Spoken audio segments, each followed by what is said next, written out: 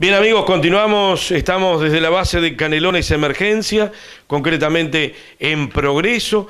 A recordarles además, tenemos el teléfono por acá, de que eh, está bueno los mensajes de prevención de los médicos amigos de Canelones Emergencia, pero también está bueno tener una emergencia de respaldo. Siempre está buena una emergencia de respaldo. Y Canelones Emergencia también ahora está en la zona, está en La Paz, en La Piedra, está en progreso. Le doy un teléfono que va a salir en pantalla porque Rodrigo lo, ubica por allí, pero lo vamos a reiterar. 2369, que es progreso, 3098. Pero mire que atiende La Paz, atiende Las Piedras también, ¿eh? atiende la Ciudad de las Villas.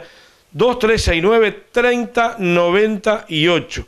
Asistencia más segura Canelones Emergencia con varios móviles. Mirá todo lo que atiende.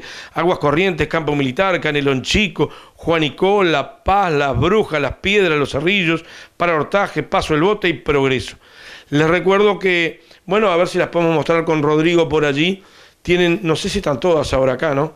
Pero tienen muchas unidades nuevas que las hemos mostrado más de una oportunidad y está bueno que se arrime a consultar. Usted después verá 2369 3098. Seguimos charlando otra semana más con la doctora Natalia Cata, que sos especialista en... No, estoy estudiando Está estudiando. Estoy haciendo neonatología. Pablo Noli, el otro médico, sí es especialista. Eh, es pediatra y está haciendo neo también. Y está haciendo, están los dos estudiando. Mm. Bien, profesionales de punta aquí en Canelones Emergencia. Decíamos la semana pasada de las situaciones de, de, de riesgo, de factores problemáticos que tienen que ver con ese amigo silencioso, le quiero recordar a los televidentes, que tiene que ver con el corazón. Este, y bueno, y desarrollamos la, el tema de las comidas y el tema de los trabajadores que muchas veces no tienen tiempo y cómo recordar la hacerse una dieta y de los niños cuánto influyen hoy en la, en la educación del grande. Todo tuyo micrófono. Bueno, en sí a, grandes rasgos fue lo que tú dijiste. Eh, Partamos de la base que como toda o la gran mayoría de las patologías, de las enfermedades, en medicina eh, su base está en la, como decíamos, en la malnutrición y en la falta de ejercicio. Eh, la nutrición ya hablamos la semana pasada un poquitito. Yo salgo a comprar o salgo a pagar alguna cuenta o voy a llevar el niño a la escuela y ya caminé. No. Ah, aclare. No, no, no. Por eso estamos hablando de la nutrición que es más o menos logramos grandes rasgos. ¿ah? Eh, ojo con lo que son los, eh, las comidas elaboradas también. Porque uno dice, bueno, para no comer algo chatarra, entre comillas, una hamburguesa, un pancho, lo que fuese, me voy al súper y me pido, eh, no sé, una porción de pastel de carne, por decir algo. ¿ah? Pero esa porción de pastel de carne la elaboraron ellos, obviamente, y no la elaboramos nosotros. Por ende, tienen mucha cantidad de aceite generalmente porque no, no escatiman y no se cuidan, no es comida sana, no es una casa eh, que vendan comida sana exclusivamente, que las hay, ¿de acuerdo? Pero eh, tienen muchas cantidades de sal, que es otras cosas que, que embroman mucho, igual que el pan. Hay que cuidar muchísimas todas esas cosas. Uno cuando indica al paciente o a una persona X... ¿El pan? El pan tiene sal. Que tiene que comer sin sal, una dieta hiposódica. El uruguayo comer sin sal es prácticamente que le pidas un imposible, porque es así. Entonces, eh, lo que yo eh, le digo a los pacientes es ir transando. Es, es un, acuerdo, un tiro y afloje.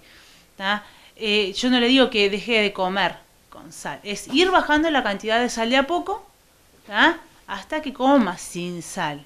Porque los alimentos ya de por sí tienen la cantidad de sal, la cantidad de sodio suficiente y no es necesario agregarles más sodio del que tienen. Alguna vecina o algún vecino que está cocinando, yo he hecho esta prueba, a mí me ha dado resultado de repente en vez de echar la cucharada de sal, que, para este guiso, para este puchero, la cucharada media, se me asuste, doctora. Pero irle retirando en ese momento o no echarle una vuelta a ver qué dicen los comensales. Lo ideal, ahí va, lo ideal sería primero no cocinar con sal y después, fundamental, no llevar el salero a la mesa. Porque si uno lleva el salero a la mesa, ya la deja servido. Creo que lo prohibieron los restaurantes, ¿no? Lo prohibieron los restaurantes, sí.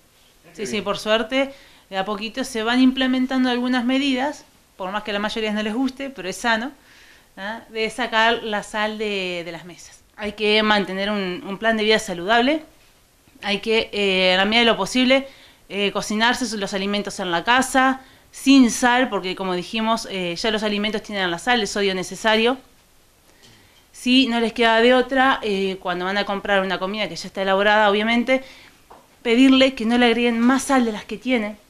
O a veces uno llama a una casa de comidas para encargarle X cosa o una milanesa con algo, ¿está? Y bueno, en vez de ser una milanesa frita, bueno, que sea al horno. ¿tá? Son pequeñas cosas, perdón, que se pueden ir haciendo para variar un poquito y para que sea el alimento un poquito más sano. Eh, después, otra de las cosas que traen sal y que a veces uno no lo toma como, como algo grande o preocupante, pero es el pan, ¿tá? porque es algo de todos los días, algo que uno no le da mucha importancia, pero eh, es uno de los alimentos que más sal tienen. Convengamos que hay pan y galletas sin sal. ¿tá? Hay fiambres sin sal. ¿Fiambres sin sal? hay fiambres sin sal. Hay jamón, quesos magros sin sal. ¿tá? Hay una cantidad de fiambres que vienen sin sal. Hay eh, hamburguesas bajas en sodio y mm, las hamburguesas elaboradas, la de las cajitas. Como, como, como médica y eh, en varias charlas habrás estado y capaz que en algunos foros a nivel internacional, eh, ¿hay conciencia del tema de la sal? Hay conciencia igual que acá, pero se implementa poco. Ajá. Ese es el tema. ¿tá? Uno, como, como decíamos, es el enemigo silencioso, como no da síntomas, yo me siento bien, no tengo problemas, no me duele la cabeza, ando. ¿tá? Entonces, ¿para qué voy a cambiar mi dieta si yo estoy bárbaro? En el tema de, de- de la mujer embarazada o cuando la lactancia. Pregunto por ignorante, ¿influye que coma la sal la madre en que se acostumbre el bebé? No es el tema de ¿Va al que pecho? no es el tema de que se acostumbre, es el tema de que eh, la sal eh, influye en el organismo en una mujer embarazada o en otra que no está embarazada, pero el tema de las mujeres embarazadas tienen más riesgo de complicaciones en el embarazo. Ajá. Ese es el problema. Tienen riesgo de sufrir preeclampsia y eclampsia, ¿Qué es que eso? son la preeclampsia es eh, se da en la final de, del, del embarazo, en la etapa final del embarazo, sobre todo en el parto, de acuerdo cuando aumentan las cifras tensionales ¿tá? por determinado valor, las cifras de presión arterial, ¿tá? hay un aumento de, del edema, uno- la retención de líquido famosa. ¿tá? y proteinuria, la empieza, empieza a eliminar proteínas en la orina. A eso se llama preeclampsia. Y la eclampsia sería ya una complicación mayor de la, de la preeclampsia, de acuerdo que cuando se da en el parto propiamente dicho, cuando la mamá empieza a convulsivar o entra en coma en el momento de dar a luz. De dar a luz, no, perdón, dar a luz es la expulsión de la placenta, en el momento de tener al bebé. Sea que influye también en esos casos y mucho.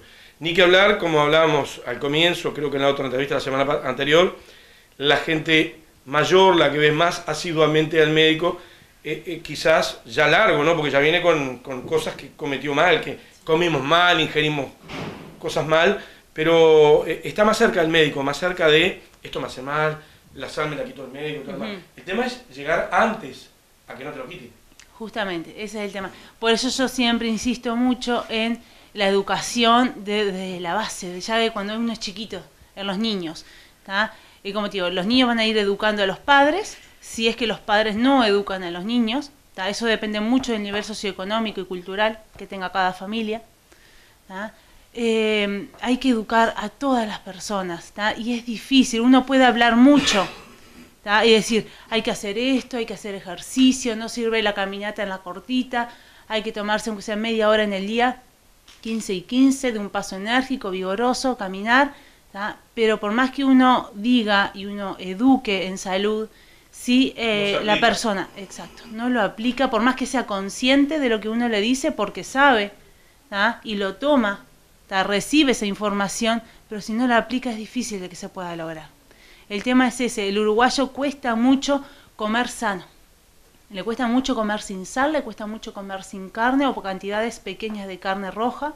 ¿tá? Le cuesta mucho inclusive incorporar el pescado una vez a la semana, incorporar las cinco porciones de frutas y verduras diarias. ¿Tá? Son pequeñas cosas que a la larga van a sumar... Calidad de vida. Exactamente.